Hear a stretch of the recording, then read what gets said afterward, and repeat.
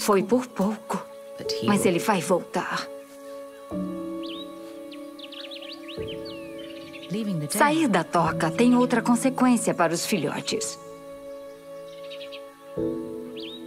Agora, eles estão perdidos. E precisam desesperadamente de sua mãe.